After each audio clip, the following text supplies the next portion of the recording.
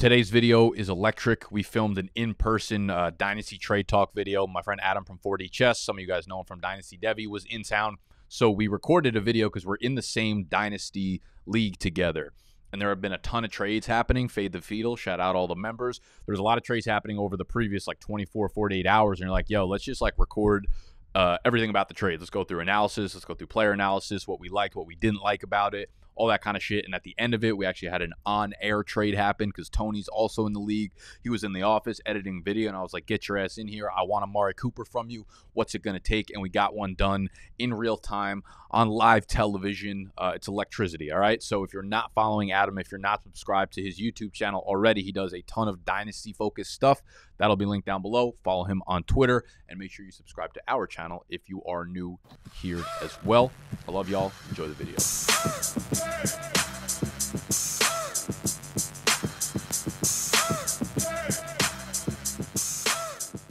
What's good, everybody? Welcome back into the 4D Chess Dynasty Trade Show. As you can see, this looks a little different than what you're used to. This is going to be very different. We're live from New York City. We got Nick Ercolano from Big Dog's Got to Eat. We're at the HQ. And uh, this one's going to be special because we're actually not doing just trades that you're used to seeing from a bunch of different leagues. This one is an individual league breakdown that Nick and I are both in. We had multiple trades pop off in this league while I was here. So we figured, you know what, we might as well talk about the league as a whole, talk about the trades that went down, and uh, you know, kind of give you our our context of the league, and then you know what we think of the trades. So uh, Nick, appreciate you hopping on, man.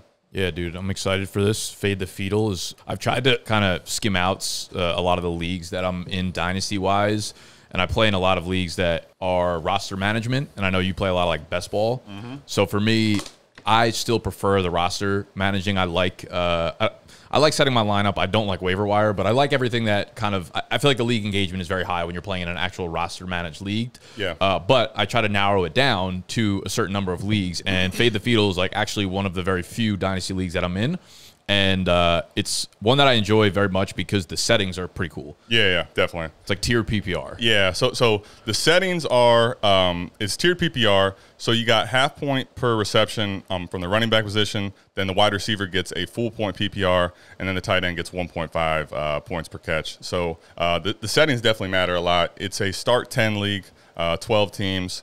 So right now, the, the the way the league is kind of worked, in my opinion, is is there point per carry?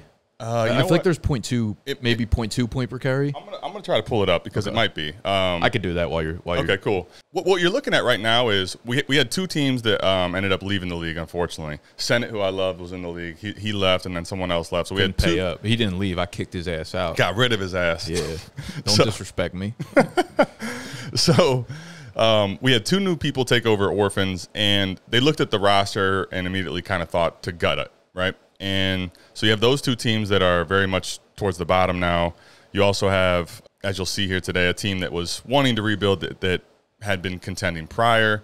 So I think right now there's a pretty clear tier of teams that look really good, and then there's some bottom dwelling teams. Well, I think I think it's cool because like there are clear dominant teams who are playing like win now. My team's super young, expected to do well, especially uh, per you know the, the, tool that we'll get into your tool today. Yeah, I still feel like I'm kind of in the tier underneath. Like I still think I need a few things to break right. So I think what we should do is like go through the trades and then at the end, kind of like Love look it. at both of our teams individually and say yeah, yeah. like, okay, what you know, what kind of move can I make maybe based on my roster to like take my team over the edge and make me feel comfortable that I'm definitely going to get that. into that chip game. I love that. So let's Let's uh, and, and real quick too, if you uh watching this, uh, if you tune into AMAs um, on the Fourth of July, I was thinking of you know what do I want the thumbnail to be and how do I make tie the holiday in, and I was like set off fireworks in your dynasty league. So I made that as the thumbnail and kind of uh, actionable advice on if you in, like right now in July you get a lot of stale leagues right? And it's it's just the dead period. There's not a lot going on. There's the news cycles are low.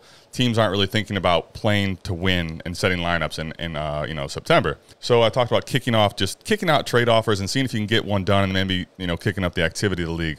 So I was pulling up some uh, some deals. I was looking at getting done.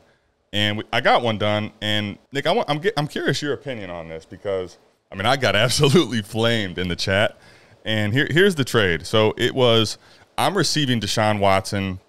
David Bell is also a part of the deal. For me, uh, had no context in the deal. This is one he actually offered back to me. I've been asking about Watson for quite a while. I'm sending away Tua Tagovailoa, Kenneth Walker, Trey McBride, and Chiggy.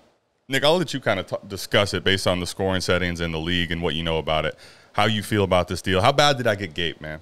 It's like one of those first glance. You're like, oh man, like this. This this, is feels, ugly. This feels like a lot. It, it, it almost felt like um, you might have been able to use like just the left side of the trade and gotten that done. Like Tua and Kenneth Walker probably would have got that done for Deshaun Watson. I think the, the throwing the tight ends in, having this be a 1.5 PPR tight end with two younger guys who definitely have upside and you know nothing proven, of course. There probably could have taken a tight end out of that trade too. I think you probably still could have got that done. Yep. Uh, so on paper, absolutely looks like an overpay, and, and the league chat for sure let you let you know about it. Um, I, I do think though this is one of those situations where, to me, it's very obvious like what you were going for. Yeah. You are like, man, I'm a delusional Cleveland fan. Let me no. You were like Deshaun Watson was an elite talent, right? Yeah. And was an elite fantasy option at the QB position. There is nothing harder to get. There is nothing more difficult to trade for or get in a dynasty superflex league than a top five, six quarterback. You got to sell your arms, your legs. You sold a couple of your nipples and your hair as well. It, it, it, it came out to a haul there, but Deshaun Watson is the dude that if he does become what he was, this trade makes sense for you. I understand like the the uh, direction you were going in. I think you probably paid a little bit too much there. I think you probably could have taken one, if not two pieces off this trade and like maybe swapped uh, a late third for both tight ends and probably still got that done. Yeah, and and um, it's interesting because I, I was basically uh, as soon as he took over as this this is one of the orphan owners, so he he takes over, and I was asking immediately about Watson. Uh, all the points you made really is a big reason why I bought. Like I'm I'm very uh, in on Watson, not just because he's a Brown, but because I think he he has he's one of the guys that has been a top five quarterback at the position, and in this league, given the scoring and that it start we're only starting 10 and two of which are super flex. If you can get two top 12 quarterbacks, like it makes up for all the gaps in between your roster. Here, here's the way. Here's the way I'd relook at it too. To, to, to give you a little bit credit here, right? So I guess like just kind of off the top of your head, like if you had to rank the top five dynasty QBs right now, it doesn't, you know, it's not a huge difference what the order is. Just just like name them for me. yeah, right so now. for me, it'd be Mahomes, uh, Allen, Hurts, Burrow, and then I'd probably put Herbert, but you could argue Lamar. Okay, so you had six right there. Yep. Trevor Lawrence wasn't even named yet. Yeah, and Lawrence is definitely in the. So in the Lawrence is there. Like, do you think you land Trevor Lawrence sending away that hole right there on the on the I, bottom? I, I highly doubt it. Right. You don't you don't get that, and he's the QB seven in Exactly. dynasty leagues. Exactly. So if Deshaun Watson gets back to top seven, top six QB, like think about what I just said. Obviously, T Law is you know three, four years younger and might have higher upside overall in his career than Deshaun Watson, but. That makes it make more sense when you look at it that way, where it's like, ah, Deshaun Watson, a lot of risk here. Like you paid so many assets to get it. But then I agree with you. You don't get that deal done for Trevor Lawrence by sending those four pieces. You No. don't get th- that deal done for any of the top seven QBs trying to send those four pieces. A thousand percent. And and when you see that's a great point and the way you illustrated that because after you get past T Law, there's there's a lot of like debate, right? Is it Fields? Which by the way, I, we can talk about. I was trying to Mm-hmm. Get Fields yeah. from you, and Yeah, you yeah. weren't you weren't giving me it for. I added what it was eight Fields for Acres, Tua, Tua, and- Acres, and Chiggy. There you go. So like this the same That was type of. that was close for me. That was close for so me. So had I made that Kenneth Walker, you probably pushed the deal through maybe. yes. Okay, there you go. So, um, but point is, like after that, you got Fields, and, and the tier after that's kind of a little more convoluted with Damn, how it's viewed in that? market. Would you have done that? um, maybe. Now I, I'm now I'm sad. I mean, I, you saw what I did here for Watson. Now, the difference for me in, in Fields and Watson is I love Fields, but I feel like his long term is a little more uncertain. Sure. Watson for him though is the next tier of guys where I could make a case where he could be right after Lawrence in market. And because that's the other biggest thing, market for me, Tua right now because of the concussions and all that, I actually still like him. But if he gets hurt again, like this is a cratering asset, and I don't have another quarterback at this time before I make this trade. That's part of the reason I made all this. And I think there's one last point. If I'm going to pay up for something and overpay, and dynasty is kind of what you talked about, it's going to be at the quarterback position for someone I think is in the elite tier. Got you. That's where my overpays are going to come pretty much I, all I think on paper it's really easy to be like, damn, you fucked up. But I also this is one of those trades where in a year we might look back and be like, smash. Yeah. Like you fucking you killed it here. Like Trey McBride and Chiggy could just again be kind of average this year. Kenneth Walker could be in that timeshare with Zach Charbonnet. Tua could get hurt, have that concussion, and before you know it, you're like, damn, you got you got a Trevor Lawrence type beat over there for you know a few pieces that aren't aren't hitting. That's that's the thing about dynasty, man. It's just trades when they first happen. It's so easy to react like emotionally, be like this, this, this yeah. how many times the trades look so dumb in the opposite way you thought about it a year later? Oh, a thousand percent. Almost I- every time. I, I mean, what's funny is I actually Watson was mine at one point, and when he was going through the bad news cycles, there was a point where I'm like, this is this is bad, and he might actually sit out a full season minimum. he might never play again. Yeah. And so Senate offered me Najee for him straight up, and at the time, Najee was like an early second. I'm like, just in value and getting off of this asset, it just makes sense. Horrible trade. One of my worst trades I've probably ever made in Dynasty. So that Who, happens. who uh who who do you have at tight end on this roster? So that was that's a, that's a great question. So my tight end room, I just drafted a bunch of rookies in this this class. So This year? yeah. So I that was another thing. I had a bunch of disposable tight ends. Now I do think because they're down the line, it's not like I have a true horde going where I can command like market uh, presence because I have a bunch of the high end ones. I have a bunch of the lower end ones. So my tight end room is I drafted Michael Mayer and Sam Laporta this year. Okay. Um, and I got Waller. So Waller's like my more contend now piece if he falls Okay, through. so you, I mean, you have a solidified starter though. Yes, and then I have uh, the younger guys that, like to me, McBride and Chig. Uh, I'd rather have like in my lineup this year than those rookies. But like value wise, Laporta and Mayer are right in that same range. So that's why would, they were disposable to me at this point. I actually think that like in tight end premium leagues, I love grabbing like six, seven tight ends on my roster and just kind of seeing what plays out because you could use them in flex, dude. oh, a thousand percent. Well, the other thing too is uh, if one of these guys pops off and becomes like Goedert range and really usable, and my other ones that I have in value don't like give me that lineup solidity, like I'm gonna feel like, damn, why did I do this? I think about yeah, I think about that a lot too because like I remember I think when we had the startup draft, I took Damien Harris and I was like psyched about it. I was like, yeah, he's, he's young, he's good, whatever. But it's half PPR for running backs and 1.5 for tight ends, and I'm like, shitty tight ends are probably going to be worth more than Damien Harris in this league setting. And I think like more people don't really take advantage of that. And, and you, you really got to think beyond just like, am I getting a great starter at the tight end position? And more so like, what am I doing at my flex spot? When you got Yeah. like double flexes, you got two flex to throw in. There's a lot of times where a tight end in a 1.5 PPR tight end league is going to be a better option than like, you know, the RB26 or the RB28 or something like that. A thousand percent. And then the, the other thing too is uh, when you get to some of these bye weeks and you get to attrition in the season, you you can look at your roster and you thought, oh, my starters were great, but what happens? We all know, like, Yeah. dude, what, wh- who am I playing this week for Yeah. like multiple weeks, right? So that's it gets bad. Yeah, I, tell, I was telling you in one of my other leagues, like I went into the year last year with fucking Albert O as my projected starter. oh, dude, I brutal. dude, you were preaching to the choir. I had Albert O as one of my main guys in a lot of best ball leagues, and he was a uh, he was a roster clogger, He's just giving me com- complete zeros. So that actually goes down here. Um, when I was here in New York, I was here for four days. So the following day, shout out to Schumer. We're gonna get to his trade. I'm, Show me, baby.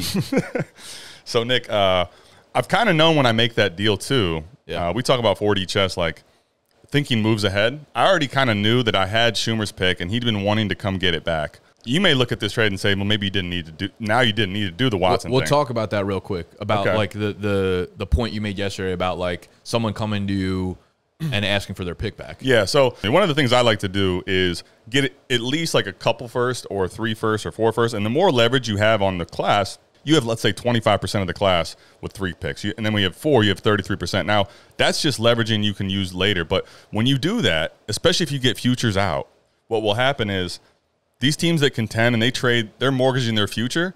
They, things can go awry for those teams.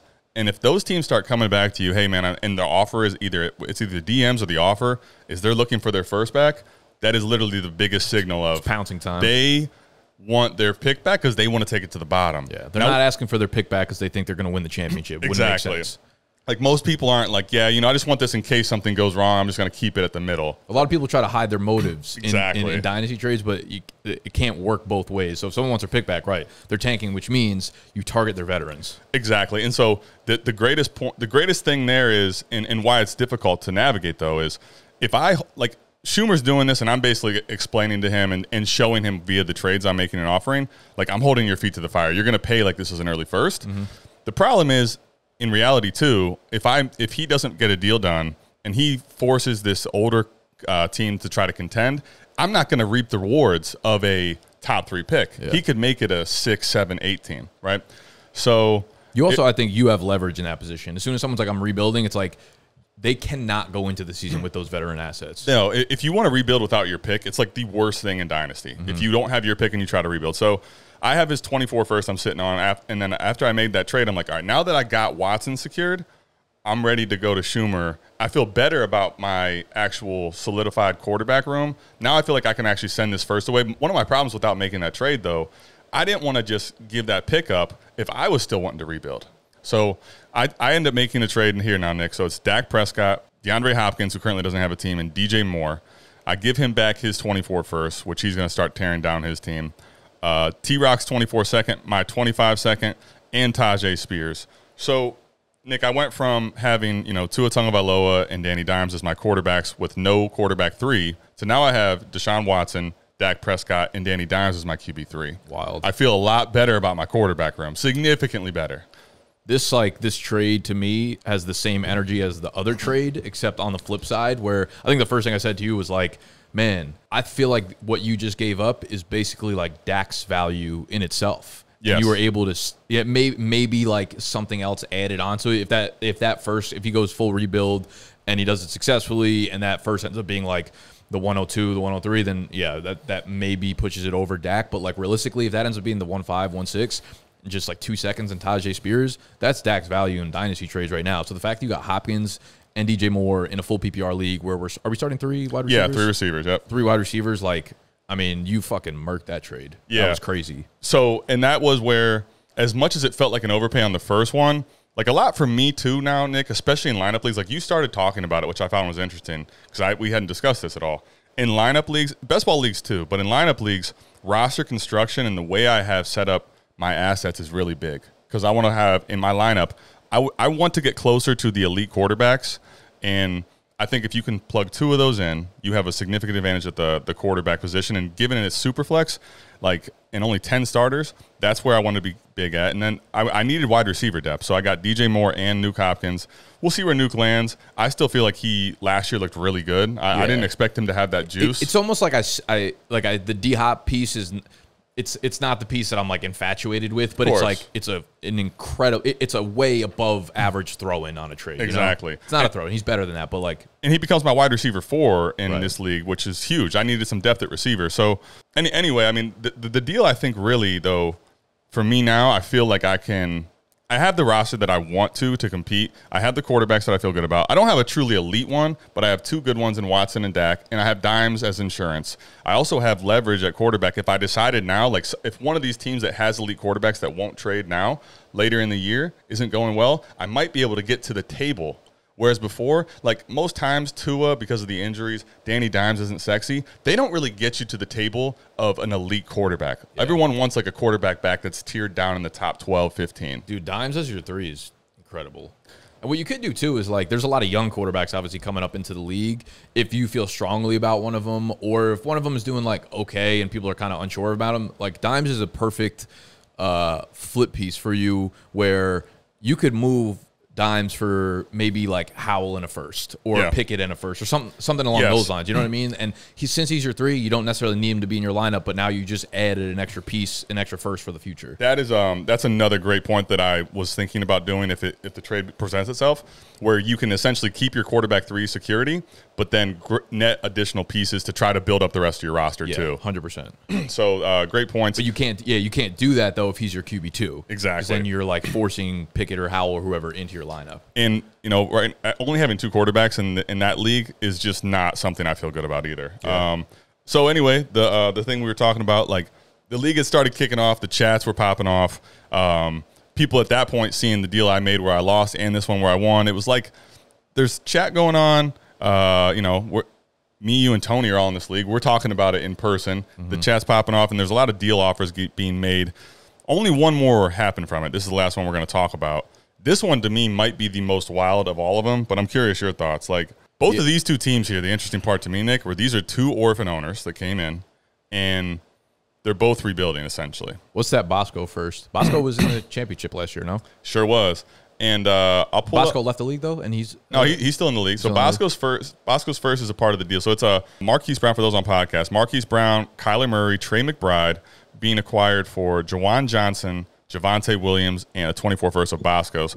So I'll, I'll pull up the simulator, but we, we ran it yesterday. Bosco's first in our league simulator is the the best team based on wins. Like he projects to be a very good team. So we'll he's say, already we'll, been a We'll high, say the 110. Yeah. We'll just say the 110. There you go. Late first, let's call it. Okay. A late first Javonte Williams and Juwan Johnson, man. Yep. Uh, so another trade where if that's the 110, Kyler probably wins that by himself. That trade. Oh, a thousand percent. So that that's another piece where, like, guys, if you are making moves in a in a super flex dynasty league, the QB has so much trade power that you usually don't need to add in all these additional pieces for it. So to get it's a really fucking weird, funny trade that like Arizona is that entire mm. side, which is all three of these pieces might be on different teams come next year. Oh, kind of interesting, right? Like yeah. Kyler might not be the Arizona quarterback. McBride Right. will probably be in Arizona. Marquise Brown, I could see him being out of Arizona next year too. Totally. Which is kind of interesting and probably good because is there an offense in the NFL that has like lower value skill players?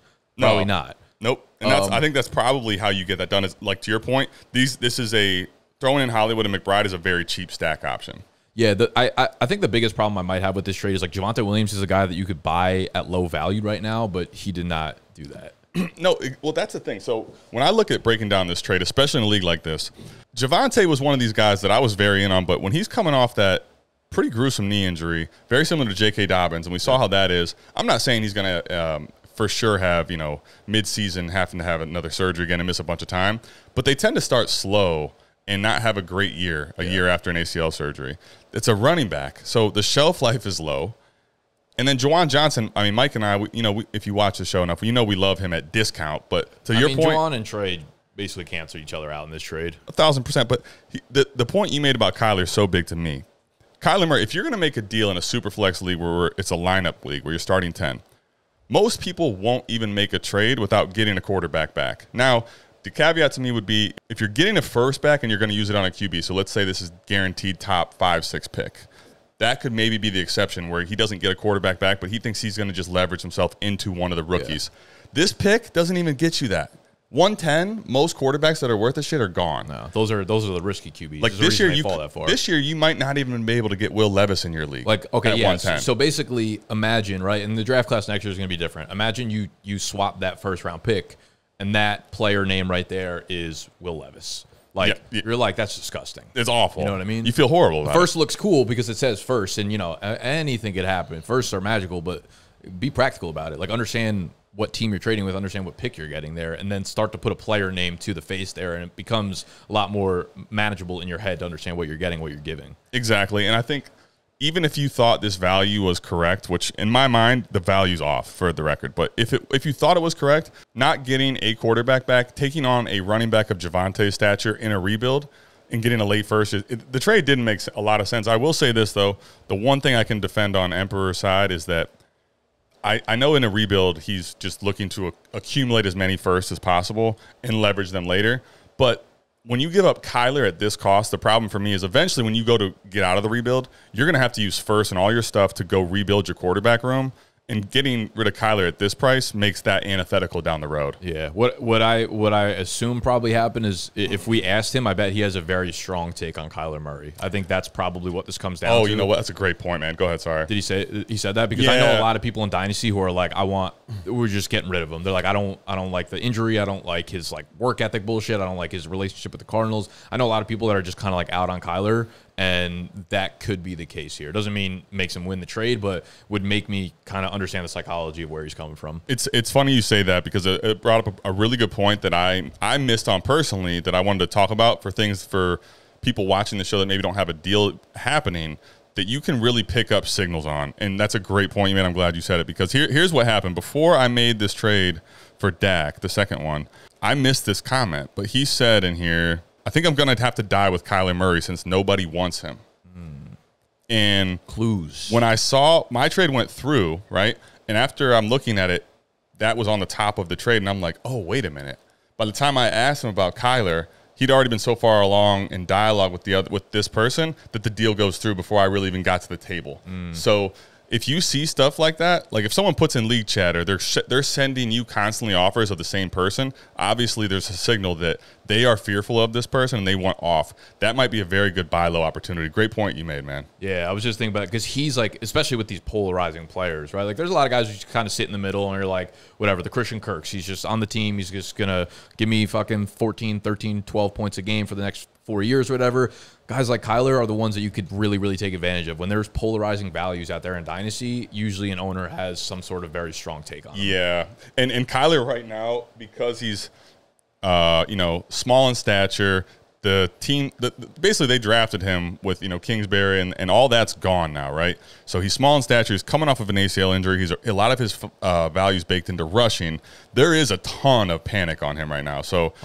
I This mean, is was- this is what, the most panic I've ever seen. But QB yeah, three, four. I feel like going into the year last year in Dynasty, and now he, might like be like the eight, nine, ten. In Yes, and that's that's where I mean I've seen in some of these startups, uh, like patrons have sent me. There's fourth, fifth round in startups, which is wild to me. yes, So uh, the, the other thing about I'll say to this about Watson, like I'm kind of curious, and I try to look at range of outcomes, and I don't really see this one as one that happens often. But if Watson plays really bad, like he did the last six games for all next year, I wonder how bad his panic and, and his like value gonna- goes to. Oh, it's it's gonna it's gonna tank tremendously. and that's where the risk that I made to consolidate all that into Watson on the bad end would be looking like, oh man, what have I done? I feel like him, but him struggling for an entire year would be sh- like shocking. I a thousand percent agree. I don't see it actually happening, but if I look at the range of outcomes, if he played closer to that six game stretch than he did like his in his Houston form, people are going to be panicked on him, especially because the off the field issues seem to like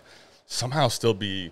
I mean, uh, people don't want to attach themselves from. from like a very common sense standpoint, though, bro, with all that on your mind, like with with probably having to be in court and talking with your lawyer like twenty four seven, just not not like taking sides or anything, but just saying what he's going through as a person.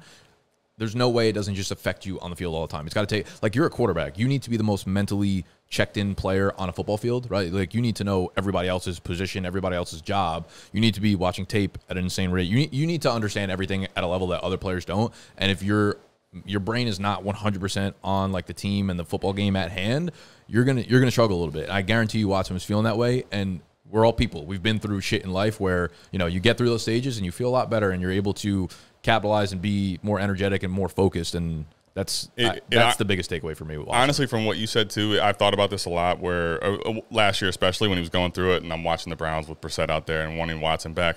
Watson it's it's similar to Woods in a way where like W- Watson was this great off the field character, thought very highly of. Everybody was always praising him. So that's basically what he's known all his whole life and tenure playing quarterback. And then he's going to come into the middle of the season, towards the end of the year, that he has to play perfect to get this team to the playoffs. And there's a lot of like now everyone looks at him and he's been dealing with all this negative off the field energy. And I think that definitely for a quarterback can mess with your head. Takes a like toll, yeah. totally different situation he's ever been in before. Yeah, just like from a very pure like human standpoint, that shit. Like I've I've gone through shit where like I'm like, God damn, like at my work, at my job, and it affects like if I'm going through something where as a business something happens to us, right? And I'm like, I got still got to make like three four videos a week. Those don't come out well. Yeah. because I'm like struggling with something internally. So I'd imagine a lot of that shifted over to him too. And you could say, oh, he's a professional, but like like the overall mass of what happened to him, it was like the headline of the sports world for a very long period of time, and Yeah. deservedly so, obviously. But like, regardless, if he's your fantasy quarterback, this is this is real. And and you know what else too? Like imagine if you had to do that, but then you're gonna go play in front of all the people that are like your biggest critics. He had his first game is in Houston. Remember that? Yeah, that was wild. that was so sus by the you NFL, know, bro. like how crazy was that? Yeah, and like with with those situations you go through, like time does for the most part heal all things. He'll be dealing with that for the rest of his life. His mental his mental's fucked probably for a long time, but time does heal. He will get he'll have like a support system within the Cleveland franchise, obviously. You Yeah. know, so I'm sure he'll be more comfortable in that locker room around those players and build friendships with them and stuff and, and feel more comfortable. So that to me, like everyone could cite stats and analytics and stuff for Watson. It's a very clear like human part of what's going on there for me. A thousand percent. And, and sometimes, eh, e- as great as all the data points we have, there's other things that go on than just uh, than just you know. Sorry, Tony looks number. just hung over his shit right now. Tony. Oh man, he looks like he's hurting, yeah. he's yeah. He's he's editing kind of. He's just looking in the screen. that's our champion. That's our league champion right there. That's- I thought we weren't going to say that. Damn it. I yeah. just I, he looks like he needs a little To- pick me up. Tony Tony uh, did win this league last year, That's enough of that. And Nick Nick is clearly ahead of him in the league simulator. So that that's gonna be the last time. Eight uh, points over the span of 14 games. I'll take it. that's gonna be the last time Tony wins the league ever again. And anyway, with this deal, uh, uh, uh, in totality, to finish this specific deal, I understand selling low on players or selling um, on a point with players that you're panicked on or are fearful of. To me, though, like Kyler Murray, even at his worst, is still solidified because he got that paid contract. A, a top 15 quarterback ish range player that's young enough where I'm just not moving for this type of like price. even if it's not in Arizona, he's getting another starting job elsewhere, and like we know when he's on the field, maybe you don't like him as a real life quarterback, but he's shown plenty of stretches where he's averaging fucking twenty five points per game as a fantasy QB. that And that's he's a- also got a Canada. He is a good. He is a good quarterback. That's such a great point about like rushing quarterbacks in general. Talk about we can use Fields as an example because you have him.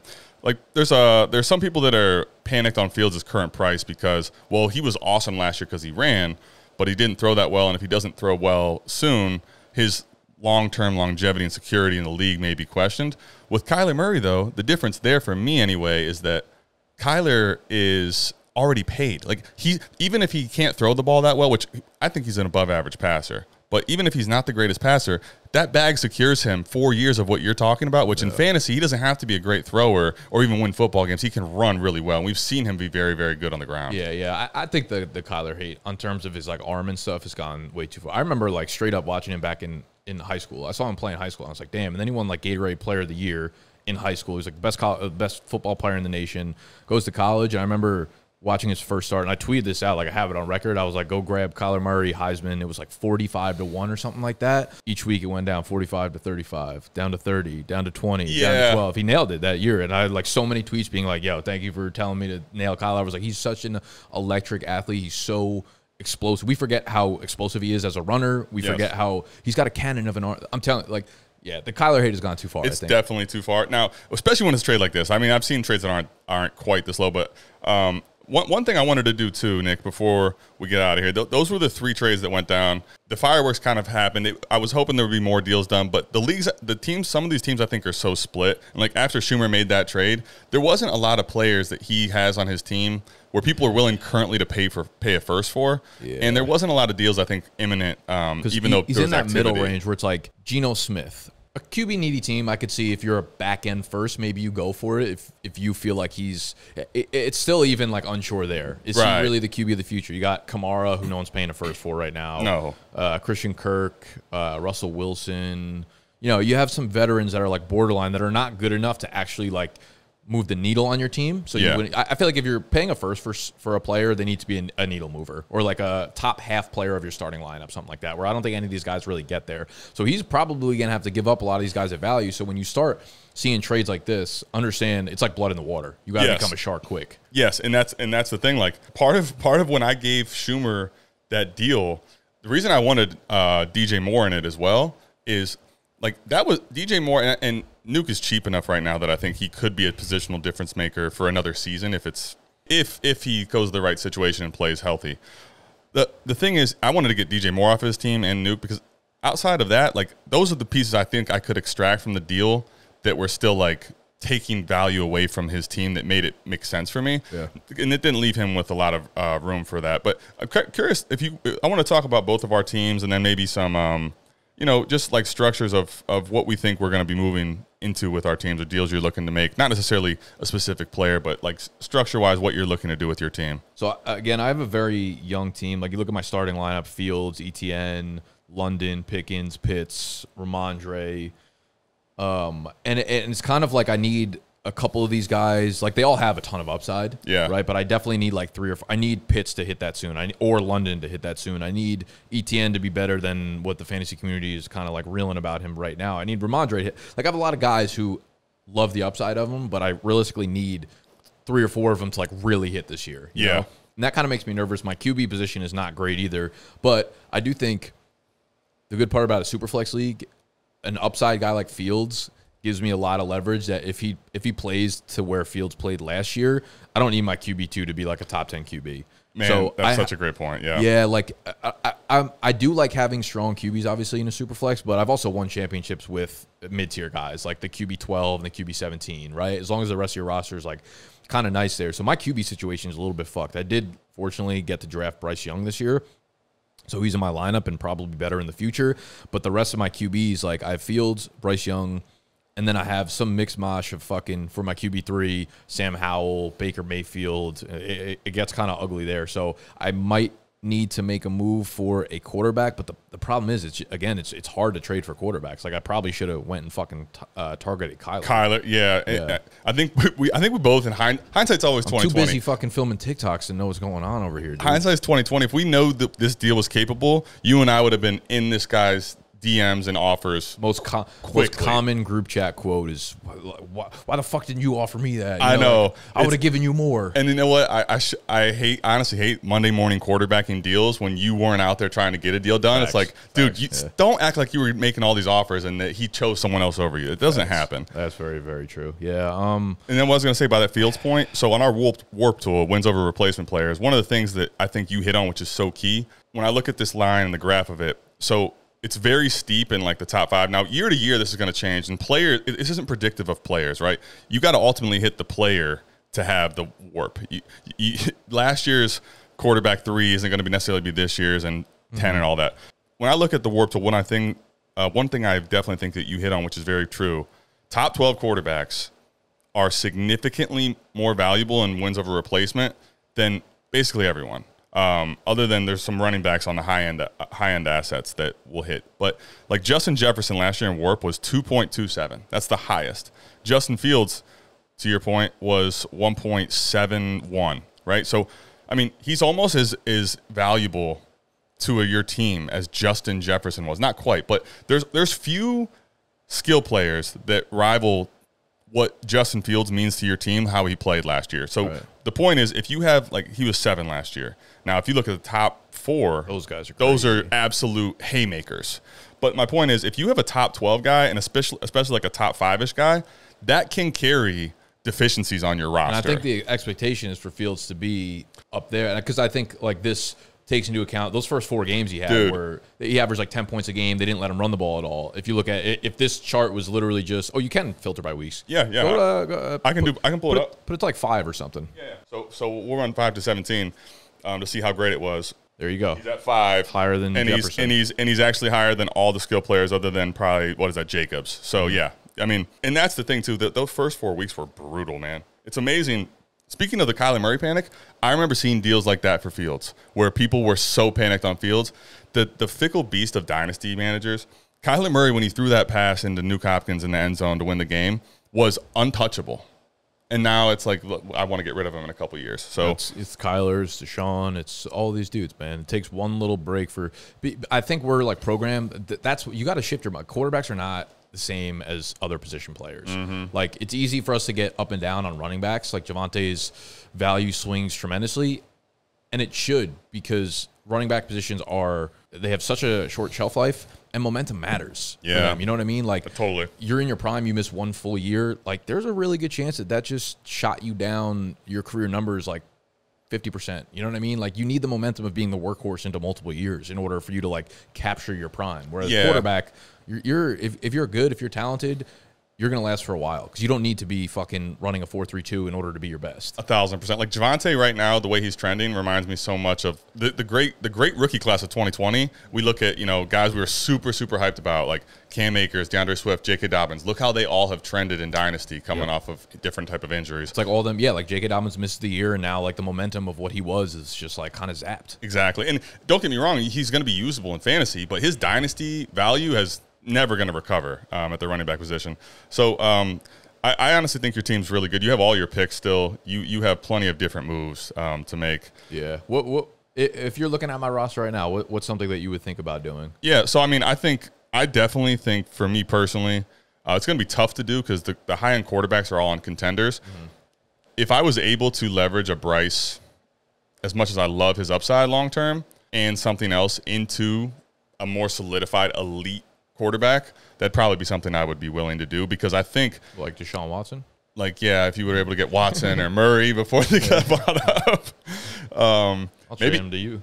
so uh, that that would be, that would have been something I would do. And then I think at this point though, if I can't make a move like that, I, I'm personally waiting and seeing on some of these guys. Yeah. And then as your team, you, you you'll be able to assess so much better in middle of October ish what you need and what's hit versus mm-hmm. right now doing it in June. And now you can leverage your first into the equation and probably go buy an asset that you actually need, whether that's a receiver, a tight end, a running back. because because being having such a young team like so I got dudes like you know Khalil Herbert, James Cook, Rashod Bateman, Kadarius Toney, where all their floors are incredibly low, but like, Exactly. maybe they'll be good. Like who who fucking knows? One about one of those those dudes pops off, and now all of a sudden you have a different flex conversation completely than you have right now. So, I mean, I would explore um, wide receiver tier ups if it was there and quarterback tier ups.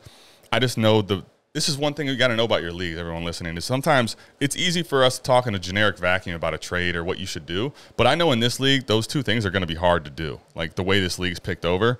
So, personally, if, if you couldn't make a, a very clear wide receiver tier up, to like a Tyreek Hill type or something like that, I'd probably wait and try to leverage your first into the wonder. Uh, equation in like the fall. so I got London and Kyle Pitts.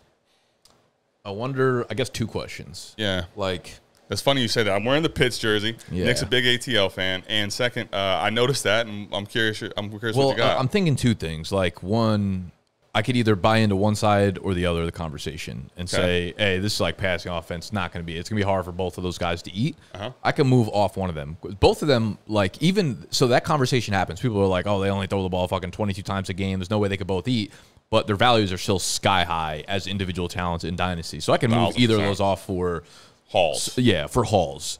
Or on the flip side, I could say, hmm, what if like the minority happens where Desmond Ridder is actually pretty good and makes Yeah. his offense usable, and that's someone I could probably get for pretty cheap. You know, so like maybe do I buy into the Atlanta offense right now, London Pitts, and see if I can get Desmond Ridder for I don't know, maybe I could maybe I can just go Howell for Ridder or like make a swap based on my team. You actually could definitely. Uh, that would not be something I hate at all. Um, Ridder for Howell, just because it's it gives you the upside of if Atlanta hits and Ridder hits, you're more rewarded than if Howell becomes good, right? Yeah. Now The Atlanta situation is tough to figure out for dynasty. It dude. totally is. I'm Ridder at, at, at a cheap cost. I'm perfectly fine, and I I think the interesting part about those guys is if you end up deciding you want to win, unless Ridder does become legit, I don't know that those guys this season.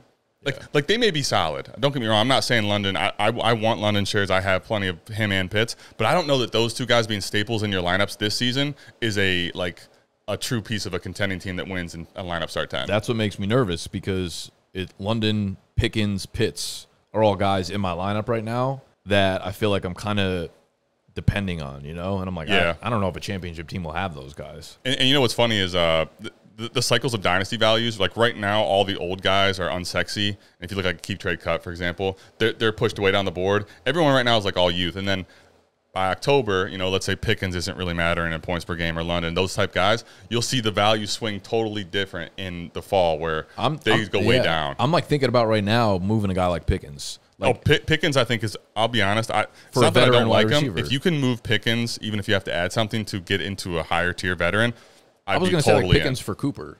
Oh, I mean that would be a smash for me. Yeah, like I total don't- smash. I don't know if that works. Maybe I could add something into that, but like I, I don't think that's unrealistic. Depending on where I don't know what team Cooper's on right now. Depending on where they are, and they're like, actually, I think Tony has Cooper. Yo, Tony, you got Amari Cooper and Faith the Fetal?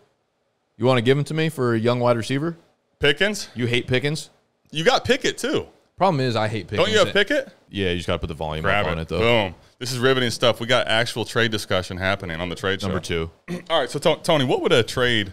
I'll try to mediate this. What would a trade with Nick look like? Like, what would it take to get uh, Amari Cooper for Nick? Like, what does that look like for your team? If you had to pull up, I can give you his team if you need to see it. Like, what would it look like? What do you want back for Amari Cooper? See, I think my real weakness on my team is I don't really have a second quarterback. I have Joe Burrow, and then my QB two is Kenny Pickett, who I'm hoping can That's you know your QB two. That's my QB two is Kenny Pickett. QB three is Jimmy G. Found the weakness. So you would take Diontae Johnson over George Pickens straight up in Dynasty.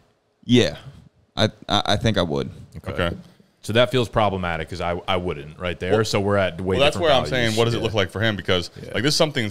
A lot of times, what I find when I'm trading is I'll set, I'm trying to make a deal happen in a certain structure, but the person's not valuing back at all. Like Pickens, you're trying to move Pickens. He doesn't value Pickens appropriately. It's Mm-hmm. Yeah. not. It's a moot point for the deal. So that's why I'm asking, what do you think? Because maybe there's a deal that makes more sense that you're talking about. So like you want more quarterback insurance or someone that might be better than Pickett possibly. Right, like if you would do I have Fields If and you- Bryce Young, and then on my bench I have How do you Like- feel about like adding like a not have necessarily Howell and Baker Yeah, Howell and Baker as like my QB three. What about a Howell type? Not not necessarily one for one for Cooper, but like does does Howell plus something get him to the conversation of getting you know a wide receiver like Cooper? The other pro okay, it was Howell and Baker. I almost like Baker more than Howell, honestly. Okay, well, what about like Baker then? There you go. This is what you do it. This is why you ask him what he wants. Uh, I don't I don't believe in either of those guys. Ideally the trade you if need somebody a QB three though. You probably do want insurance at the quarterback. I would feel fine with Jimmy G as my QB three if my QB two was more promise than Kenny Pickett though. Okay. So really, so so then I, I didn't realize you had Jimmy G too. So you you don't actually you're looking more so to buy like a, a higher end quarterback than Pickett essentially. Yeah.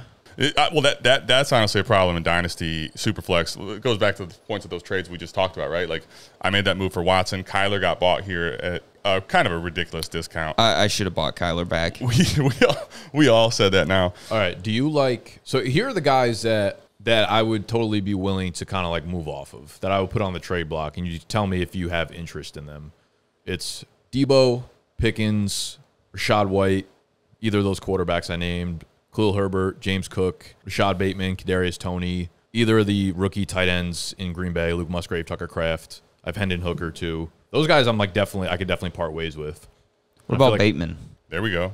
I like, yeah. I mean, What about him? yeah. I like him as like a, a young young prospect that has good potential. I wouldn't trade Amari Cooper straight up for him now because I feel like What I've do you want to What do you want to attach to Bateman to get to Cooper? Real quickly. I don't think I would do this, but in Dynasty, do you like you like Deebo more than Amari? Ooh, yeah, I think I do. It's it's not far off, but I I, I don't know if I want to do a lateral move there. Yeah, I'd yeah. rather give you like pieces that you feel like you're building your team on, just so I can get one solidified piece in Cooper. Like if you like Bateman and another player together. Would you split Amari Cooper, Bateman, and Toney? Wait, what? Bateman and Toney for Amari Cooper. Yeah. Bateman and Toney for Amari Cooper. I think that deal makes a lot of sense. I think it does too. Um, oof. Okay. I, uh, I think I would do that. Okay. I kind of like that. Gives me a little more depth, gives me a little more youth. I will say, though, I do feel like depth is something I already have. So getting more depth may not be the move, but I do really like the price of Bateman. me see. What's your. What's your depth relative to well, like so here- youth, too, so- though? Yeah, so your depth right now. Uh, so my starters don't feel super high end. Right now, I would say Cooper, Michael Pittman, and I don't think Jerry Jeudy's my three, to be honest. I think maybe Aiyuk's my three. Okay. But then I have Diontae Johnson, Jerry Jeudy. I would say this though, like um, realistically, I, I get your point. I would say like right now you have you, after this trade you would have Pittman, Jeudy. If you made it, you would have Right. Pittman, Jeudy, Aiyuk. Aiyuk, Diontae, and then realistically though, Also, I mean, like you this want gives that you you, a lot of want that youth, too. upside because you outside of that your depth. You got to remember when there's bye weeks and there's injuries, like somebody's going to get hurt. It, it's just the way Definitely it works. true. Like you don't want to be reliant on Romeo Doubs or DPJ in a league like this. Very likely. Right. But we're also talking like just wide receivers. Yeah, no, no. I, I but like, okay, what's what's your depth at the other positions that you? I mean, like, I, when I look at your bench currently, obviously Aiyuk really should be a starter. Um, but like, there's no one I'm sitting here like, yeah, that makes a ton of sense to start weekly. Now they could be, but like today, no one of those guys project there. Where like Bateman and Toney, definitely, there's a scenario where they are worth a flex. They're also both like under start. 25. I Yes. Think, too. And both Yeah. either if either one of them like has a great start, we know how dynasty works. Those are like names that people are excited about, and that they get value bumps because of their just inherent dynasty value. Definitely. So I mean, I'm Come on. Not, I'm I'm not. I think You- that deal would make sense it. if you do You it. send it. Let's get it done on the trade show. First need- deal happening live on the on the get- dynasty trade hold show, on, let me get man. my telephone. Yeah, he's got to get his telephone to make it happen. You see that? Made a deal happen live. Here we go. You know what? We just thought of a new service, a new uh, a new product for you. I love that. Let him consult a trade for your for your Mediate the trades, man. Would you actually? You know what? Were you going to talk about a pick instead of a a receiver? no, I wasn't. I was just gonna go through your receivers and see like value wise who you would swap Cooper for, like who you would be okay being like, ah, you could take him instead of Cooper. To be honest, Is there I, I anyone mean, that you wouldn't? Well, They I, feel like they're the same value. yeah, I kind of think Cooper. I think that's the right one for his team. I think so too. I think he's my most valuable receiver. Actually, is that weird He's to say? Even though he's like significantly older. I think I would value Aiyuk over Cooper. Really? dynasty. I definitely would value Aiyuk over- over Cooper. Um, Would you Cooper give seem- Aiyuk in that trade? yeah. I think that's the way you answer that question. Right. You value the most. Yeah. Exactly. I think his uh, his initial reaction makes me know that the answer is no. A lot of times, though, I like I'm a very uh, short-sighted dynasty player, though. You know what I mean? Like I value next year, I think, way more than a normal dynasty Oh. player does. You know what I mean? So, So, may- like so me- maybe, for me, so maybe, Cooper. so maybe you would rather do Aiyuk then, because Aiyuk, like, here's the situation for Aiyuk. I don't know how. Here, actually, I wouldn't do Aiyuk here because I already have Deebo in my starting lineup. oh, good point. But I would like to trade with Aiyuk too. But I'm going to send it through as Bateman and Toney for Cooper. I, I, I think that trade makes actually, actually makes sense. I, I think it's even. I think it works. You're just trying to get a deal done today. Yeah, I mean we just, we're live on. It. We got it. We got to Got get it. something done. We got it. All right, I see it. I'm a counter, throw in an extra second, and you got yourself a deal. All right, like this is this is how trades just go to shit. I like it. Bang! It just happened. there Beautiful. is. Let's go. There we go. Fourth trade. So now we got a fourth trade to review until Noah gets here. So I- I- where would you where would you put in redraft? Where would you put Amari Cooper? Like wide receiver? What? so we just drafted him in underdog yesterday, didn't we? Maybe I don't remember. He's like somewhere in probably like the 10 to 14 range. I think for me. Okay, I was gonna say 12, 15. Yeah, I was gonna say bullishly I could put him inside the top ten because Watson's there, but I think I like I'd say fifteen ish. He was the nine last year, and I think like like projecting that is definitely like a little bit too optimistic. But I think a little bit off that is probably realistic. the other the other thing you have to bake in with Cooper, like I love Cooper. Uh, I think he's with Watson for a full season could be awesome. You have to bake in in dynasty, especially. Well, I think a deal like that makes sense. Is Cooper if he smashes again is going to be you'll, you'll like him for that season.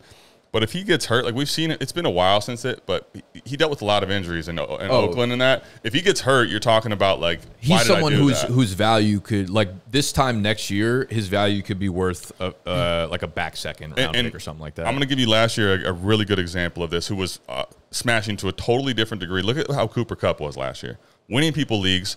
He gets hurt, and teams are like, "Oh shit, what the hell do I do?" And guess what? What happened when they went to the market? Nobody was interested in buying that Who's old got- asset at the someone time. got Kupp in this league because I'll fucking trade for his ass right now. Believe me, that's what I've been. Uh, I'm about try- to take I've my been, team from young to fucking. I've been trying. I'm about to the trade re- Bateman to and the Toney for retirement Cooper home. Kupp. We're, he's Nick's going young. All right, to we got all a in. challenge. Whoever can get Cooper Kupp first wins. I- I'll tell you this much: I've already been in DMs, and uh, Bosco hasn't really been Not budged. interested. Well, he wants like he told me Garrett Wilson plus, and I'm like, okay, well, I'm about For to Cooper send him Kupp? like. Yeah. Damn. I was about to send him Drake London or something. Now, I mean, Drake London plus, maybe he gets he's done, but he wanted me to send him DeVonta Smith plus or uh, Garrett Wilson plus, and I'm just like, I like Kupp, but that's just too steep for me because those guys I think could still be positional advantages, even being young. I'm about to send London, Pierre Strong, and a third for Kupp. I would send that. I mean, I'll be honest with you, there are people right now that would take London straight up ahead of Hundred Kupp. percent. Actually, it sounded ridiculous when you said it, but now that I'm thinking about it, Kupp Did you feels like a red you know What I flag. would, you know what I would? Hundred percent. I would consider there though. I'm. Just, you know what? I'm. Sh- I'm getting emotional because we're on a podcast Boom. right now. I'm not sending offers. there, there it is. There gotta it think is. About this, we just made one. Now I'm fucking. You know. Yeah, you get you get trade happy. You know that's good. It's good to get Good trade happy. happy. I'm usually sad. Now I'm happy. Look at this guy, man. We got a we got a deal done. Um, Tony adds some depth. He already still has a pretty good receiver room, in my opinion. Ju- Yeah, Jeudy- that what you do have a good. I didn't realize. I just it don't. was- I just don't have. I don't think I have a wide receiver one though. yeah.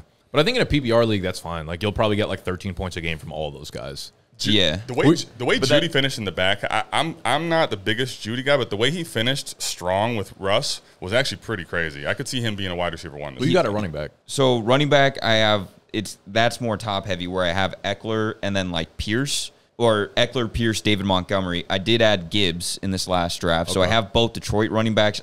I like both of them individually. It feels weird having them that's good. both in a lineup like, though. I think one or both of them are, will be. Could really this good. be like a Mark Ingram, Alvin Kamara Yeah. type beat? Yeah, Absolutely. Oh, now I'm getting super optimistic about my own players. for sure. I'm gonna let Austin Ekeler just ride into the sunset on my team. I'm doing that and go fade me too. You- no one will value him correctly. So Right. It's just like whatever. Give me another 18 touchdowns for a year. yeah, cool. Fuck you this guys. might be this might be it for Austin Ekeler, but I, I'm fine just letting players die. I think Ekeler kind of feels like he's going to hang around for a long time. He, he you think so. Yeah, because one, like you could just see how he like takes care of himself so well. He also is a dude that like in his worst, like say he turned, you know, 30, 31, 32, I feel like he'll become a role player that's really valuable in fantasy. Like even if, you know, Ekeler maybe starts to break down a little bit, maybe his carries dwindle from like 200 down to like 75, 80, but I bet he still gets like 80 targets a season even in his older age years. So he basically like devolves into Danny Woodhead. Yes. Yeah. Like I think worst case scenario, you're going to get Ekeler as like Danny Woodhead for the last like two three years of his career. That'd be pretty sick. yeah. Yeah, I mean, literally, I think for him as he gets older, especially in that type of a workload too, he probably has a better chance to stay healthy. Right. Like his, his, He'll his- catch his- 80 passes a year for his a while. age at like a full workloads like he's been taking these last few years. I, I worry he's going to get an injury. Ekeler's going to go to the Patriots and catch 500 passes. Uh, Hood, Hoodie years. would Hoodie would have every. He would be James White on steroids. That's what I mean. That's where my mind went exactly. It's like you don't even need to get more than 50 carries to be like a monster. Yeah, I mean he, he does have that elite pass catching prowess, um, and when he gets the ball in his hands, he's liable to score any anytime he's inside the fifty. So I like that. So who wants to buy Austin Ekeler between you two? Uh, I'm out. Nick's traded out for the day.